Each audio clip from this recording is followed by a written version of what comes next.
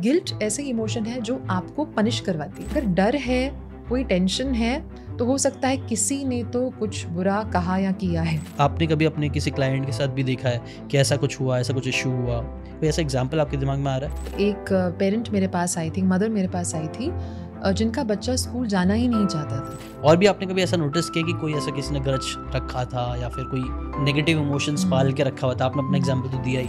इकलौता बच्चा और माँ बाप से टोटल रिश्ता नाता तोड़कर चला गया। आपने ये बात भी एकदम सही बोली। एग्ज़ाम्पल ज़्यादा बेस्ट वे टू टीच मैं भी हमेशा ना, आप हम नोटिस किया था मैंने भी कि हम कॉलेज में थे तो जो भी टीचर्स हमेशा सिर्फ़ ऐसी थियोरी थियोरी या फिर बहुत ज़्यादा जागन्स यूज़ करते उनसे बहुत बोर होता था। बट जो भी टीचर हमें एग्ज़ाम्पल देता था, अपनी कहानियाँ बताता था, वो बहुत मज़ा आती थी। तो वो उससे कैसा अटेंशन भी बढ़ता था और सीखने भी ज़्यादा मिलता था। तो कमिंग फ्रॉम उधर ही से आते हुए कि कुछ ऐसा एग्ज़ाम्पल आप दे सकते हो? कि बच्चों को कहीं, आपके, अभी भी आपके साथ, आपने कभी अपने किसी क्लाइंट के साथ भी देखा है कि ऐसा कुछ हुआ, ऐसा कुछ इशू हुआ? कोई ऐसा एग्ज़ाम्पल आपके दिमाग में आ रहा है? वेदर नेगेटिव और पॉजिटिव जी हाँ बिल्कुल। इनफैक्ट एक पेरेंट मेरे पास आई थी मदर मेरे पास आई थी जिनका बच्चा स्कूल जाना ही नहीं चाहता था। और ऐसी कोई प्रॉब्लम नहीं थी, उन्होंने टीचर्स से भी बात की बट शायद ऐसा कुछ हुआ होगा जहाँ पे इस बच्चे को शायद अच्छा नहीं फील हुआ। अब चाहे उनके फ्रेंड्स अभी तक हमें पता नहीं है कि एग्जैक्ट इशू क्या थी बट हमें बस इतना पता है कि बच्चा स्कूल ही नहीं जाना चाहता था। ओके और काफ़ी दिन हो गए तब उस मदर ने आके कहा कि यू नो मैं क्या कर सकती हूँ? क्योंकि मैं सब कुछ करके देख दिया। स्कूल में काउंसलर भी बैठते हैं वहाँ पे भी लेकर गई बट बच्चा नहीं मान रहा। तो जब मैंने बच्चे से बात की यू you नो know, मैंने ऑब्वियसली उन्हें थोड़ा लाइटर वे में पूछा बात की समझाया कि, देखो बेटा, क्या करना है आपको? बड़े होकर क्या करना है? तो जब मैंने उन्हें इस तरह से क्वेश्चंस पूछे, जैसे कि आपको क्या बनना है, आपको क्या करना है, और आपके साथ अच्छा अच्छा क्या हुआ है, अब तक बताइए। तो धीरे धीरे करके मैंने नोटिस किया कि अगर मैं उनको एक पॉजिटिव थाट दे रही हूँ तो बच्चा भी मुझे कुछ ना कुछ अच्छा पॉजिटिव दे रहा है। और मैंने उनसे एक चीज़ कही कि, हो सकता है किसी भी कारण आपको डर है स्कूल में जाना। हम्म? हो सकता है किसी ने आपको गलत तरीके से देखा आप अपने आप को प्रोटेक्ट कीजिए। कैसे? आप जैसे ही घर से निकलते हैं ना, ये सोचिए कि आपके सामने एक पिलर है। और आपका फेवरेट कलर कौन सा है? उन्होंने कहा, मेरा फेवरेट कलर ब्लू है। ऐसे वेरी नाइस तो आप इमेजिन कीजिए कि आपका ब्लू पिलर आपके सामने है, जो आपके आसपास है आपको प्रोटेक्ट कर रहा है। और जैसे जैसे आप स्कूल जाते हैं क्लास में बैठते हैं याद रखिए ब्लू पिलर आपको प्रोटेक्ट है। तो कोई भी, मैंने ये कहा तो क्या कोई भी इस पिलर के अंदर नहीं आ सकता? मतलब मुझे कोई भी हार्म नहीं कर सकता। मैंने कहा, कोई हार्म नहीं कर सकता। ब्लू पिलर है आपके आसपास। ये जो ब्लू पिलर है ना, वो यूनिवर्स का पिलर है। और आपका कनेक्शन यूनिवर्स के साथ अपना है। किसी और का नहीं है। आज से ही आप अपने साथ बैठिए और गॉड को यूनिवर्स को बात करना शुरू कर दीजिए। जो भी आपको शिकायतें हैं ना, आप यूनिवर्स को बोलिए, रोज रात को। अपने दिल में मत रखिए। बोलिए जो बोलना है बोलिए। और उसके बाद आपको जो चाहिए, अगले दिन हो, वो भी आप बोलिए। और फिर थैंक यू बोलिए। ये सोचकर कि यूनिवर्स ने आपकी बात मान ली। और याद रखिए यूनिवर्स आपके साथ है। बट उनका ये काउंटर क्वेश्चन था, मुझे कैसे पता कि यूनिवर्स मेरे साथ है? मैंने कहा, ये सोचो कि वो ब्लू पिलर है ना? वो ब्लू पिलर यूनिवर्स है। यूनिवर्सल शक्ति है पावर है। आफ्टर ऑल आज क्वांटम फिजिक्स ये मानते हैं कि सब कुछ एनर्जी है तो ऐसा कुछ है ही नहीं जहाँ पे यूनिवर्सल पावर नहीं है। तो मैंने उनसे यही कहा कि आप ये सोचो कि ये पिलर आपके साथ है और जब भी आपको डर लगे ना, बस उस पिलर को याद कर देना। ये सोचो कि आप उस पिलर को जाके हक कर रहे हो। उस पिलर को हक करके माइंड में सोचो कि सब कुछ ठीक होने वाला है।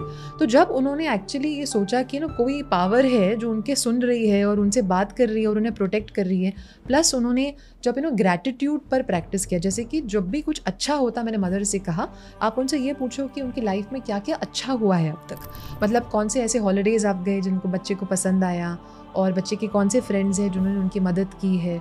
तो आप बेसिकली उनका ध्यान पॉजिटिव चीज़ों पे रखो ग्रैटिट्यूड पे रखो।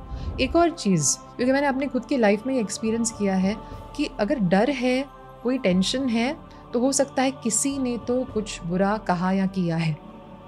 तो फगिवनेस मैंने सिखाया बच्चे को कि रोज़ रात सोने के पहले जिस किसी ने आपको परेशान किया है ना, आप उनके बारे में सोचो और बोलो कि मैं लेट गो करता हूँ। मैं लेट गो करती हूँ। मैं आपको फगिव करता हूँ। मैं अपने को भी फगिव करती हूँ। इनफैक्ट सात साल के बच्चों से लेकर नब्बे साल तक मेरे क्लाइंट्स हैं और उन सभी को मैंने नोटिस किया है, अगर हम फगिवनेस सिखाते हैं तो बहुत फ़र्क पड़ जाता है। सो वही सेकंड पॉइंट आई थिंक यही था वर्ड्स के बाद जो थी फॉरगिवनेस उसके ऊपर ही काफ़ी अच्छा इसका भी एग्जांपल मिल गया फॉरगिवनेस का और भी आपने कभी ऐसा नोटिस किया कि कोई ऐसा किसी ने ग्रज रखा था या फिर कोई नेगेटिव इमोशंस हम्म। पाल के रखा हुआ था आपने अपना एग्ज़ाम्पल तो दिया ही हम्म। बट और भी ऐसा कोई देखा है आपने कि हम्म। जो फॉरगिवनेस करने के बाद उससे कुछ अच्छा रिज़ल्ट मिला बिल्कुल मेरी एक क्लाइंट थी जिनके बेटे थे साढ़े चार साल तक बेटा माँ बाप से बात नहीं किया। बात करना बंद था क्योंकि शायद प्रॉपर्टी रिलेटेड कोई इश्यूज़ हो गए रिलेटिव्स को लेकर कोई फैमिली प्रॉब्लम्स हो गई इकलौता बच्चा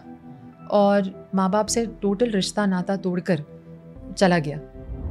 इनफैक्ट uh, ऐसा समय था जो मेरे पास आई उन्होंने कहा हमें तो पता ही नहीं हमारा बेटा कहाँ है। फिर कुछ समय बाद उन्होंने कहा कि हमें पता चला है कि वो शहर में है लेकिन वो हमसे बात ही नहीं कर रहा है। तो कहीं ना कहीं इस मदर को बहुत गिल्ट भी था। कि हमने कुछ चीज़ें गलत की हैं जो हमें नहीं करनी चाहिए थी अपने बच्चे के साथ। हमने उन्हें सपोर्ट नहीं किया। चाइल्डहुड कुछ ट्रॉमास भी थे बच्चे को और जब ये चीज़ें सामने आई तो बच्चा नहीं देख सका, नहीं ले सका और पिता के साथ भी काफ़ी अनबन थी तो छोड़ के चला गया। तो सबसे पहले तो मैंने मदर को गिल्ट इमोशन पे काम कराया। क्योंकि अगर गिल्ट है तो आपकी बॉडी कभी भी रिलैक्स्ड नहीं है। आपकी वाइब्रेशन कभी भी सही नहीं है। और गिल्ट ऐसे इमोशन है जो आपको पनिश करवाती है। सबकॉन्शियस को ये फीलिंग जाती है कि आपको पनिश करना है, अपने आप को। तो आप ऐसी ऐसी चीज़ें करोगे जिनसे आपको और तकलीफ़। तो गिल्ट हमने सबसे पहले तो रिलीज़ किया।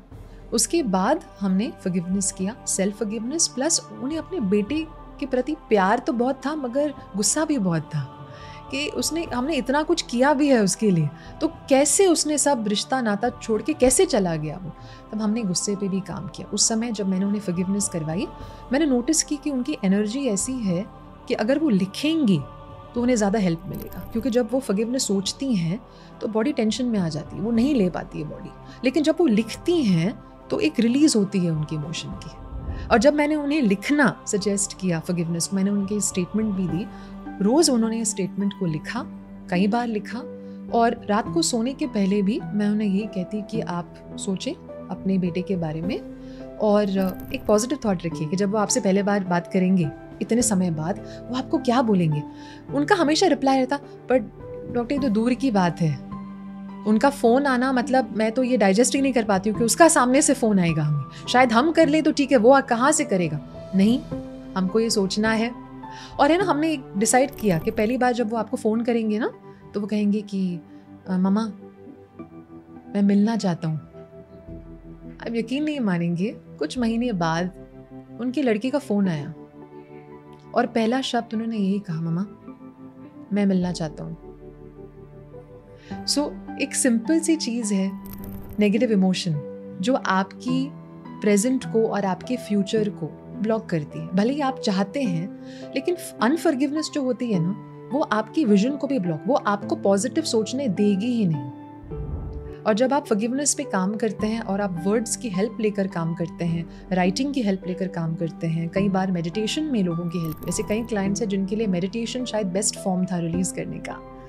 और ऐसे में अगर वो, जो उनके सबकॉन्शियस माइंड को सूट करता है, करते हैं तो फ़ायदा उन्हें बहुत मिलता है।